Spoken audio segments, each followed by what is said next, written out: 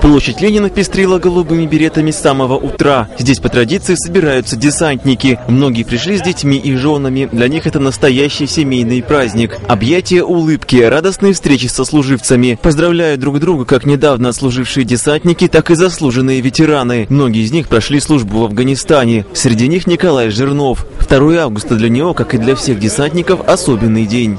Что значит быть десантником? Э, Десантниками не рождаются, а десантниками становятся. Это элита, это честь. Я хочу поздравить всех бывших, настоящих и будущих воинов-десантников. Слава ВДВ! Николаю, как и другим ветеранам боевых действий в Афганистане, вручили юбилейные медали 25 лет вывода советских войск из Афганистана. Многие из героев той войны так и не вернулись домой. Их, а также всех павших воинов почтили минутой молчания.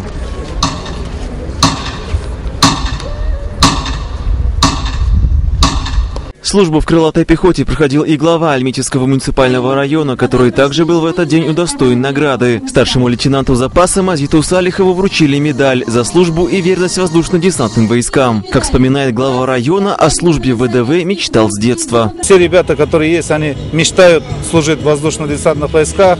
И у меня такая мечта была. Воздушно-десантные войска – это элита вооруженных сил. Это не только сегодня, всю жизнь э, элитой назывался, элитой, э, наверное, останется. И гордость – это наша страна. Проходил службу в Амурской области. На его счету 32 прыжка с парашютом. Девиз десантников «Никто, кроме нас» стал и девизом его жизни. Какие бы трудности э, перед нами не стояли, как в армии, так и в жизни, мы не боимся трудностей. Пользуясь случаем, хочу поздравить всех э, Днем воздушно-десантных войск.